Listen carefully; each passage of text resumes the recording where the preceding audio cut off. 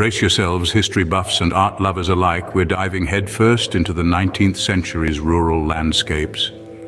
Picture a time where the sun rises over vast fields, peasantry at the heart of society, their lives immortalized in canvas and oil.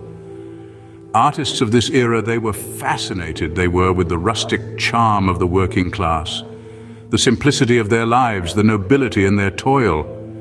Take, for instance, Jean-François Millet, a French painter who championed the rural life through his work. His famous piece, The Gleaners, it captures the hard-working women in the fields, their backs bent, gathering wheat after the harvest. A snapshot of resilience it is, of the human spirit. Art and history, they're intertwined. See, each painting, it's a time capsule, a window into the past. So next time you gaze upon a 19th century canvas, remember the stories of the peasants, their lives, their struggles, their triumphs.